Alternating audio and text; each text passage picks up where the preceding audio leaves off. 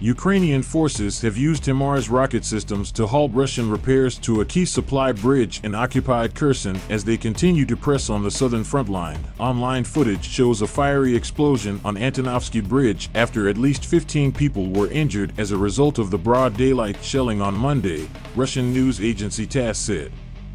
At around 1 p.m. on August 22nd, in order to disrupt the work to restore the roadway, Ukrainian troops attacked from the American HIMARS rocket systems at the site of repair work on the Antonovsky Bridge, a local official was quoted as saying.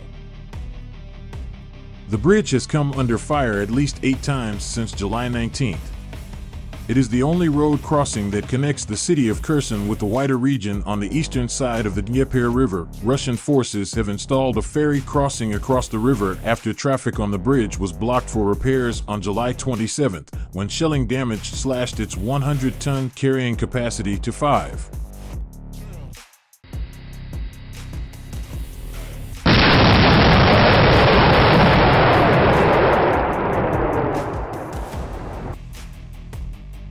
An anti-Putin Russian militant group was behind the car bomb assassination of Daria Dugina. A dissident former Russian politician has claimed Ilya Ponomaryov said a little-known group called the National Republican Army was responsible for the killing of the daughter of the hardline nationalist Alexander Dugin on the outskirts of Moscow on Saturday.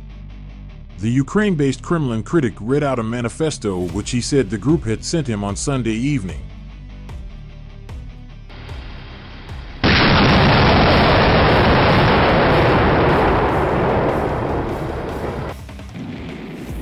On air on an online TV station he runs from Kiev aimed at challenging the Kremlin's narrative of the war, he said the group was committed to overthrowing Putin and building a new Russia. Such statements are illegal inside Russia, and those who make them face long jail terms.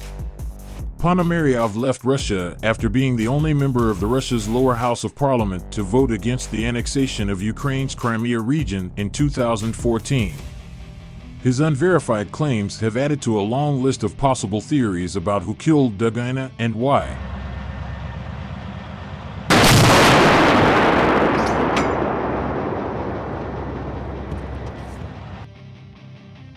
Some Russian opposition activists have speculated that the murder may have been orchestrated by forces inside Russia keen to discourage ultranationalists like her father from criticizing the Kremlin for being too soft on Ukraine. FSB intelligence agency claims that the killing was the work of Ukrainian special forces have been met with skepticism and denied by Kiev. Russian forces used torture to force staff at the Zaporizhia nuclear plant to operate the facility, the head of Ukraine's nuclear power industry has told Sky News.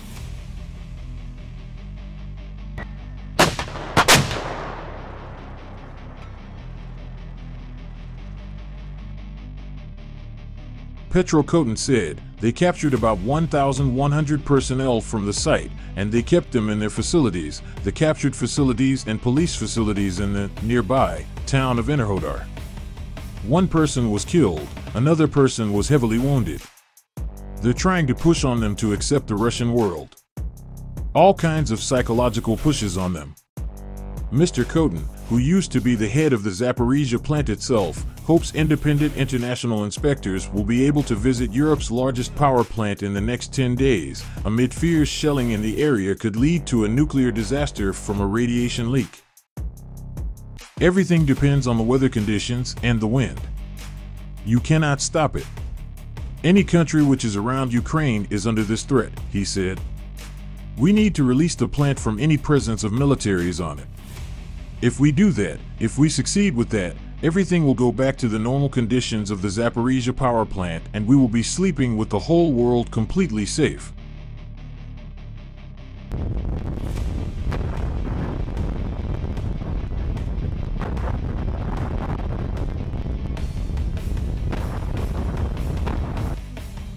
Biden has faced growing pressure from the families of hostages and detainees, most recently in the case of WNBA star Brittney Griner, who has been detained in Russia since February and is on trial on drug charges, deteriorating relations between the United States and Russia over Moscow's invasion of Ukraine highlight his detention and wider problems. The sanctions authorities included in this order allow the United States to impose financial and travel sanctions on those responsible for unfairly detaining U.S. citizens, whether the captors are terrorist networks or state actors, U.S. Secretary of State Antony Blinken said in a statement. A statement. The order directs government agencies to work more closely with the families of detainees and share information and possibly intelligence, U.S. officials said.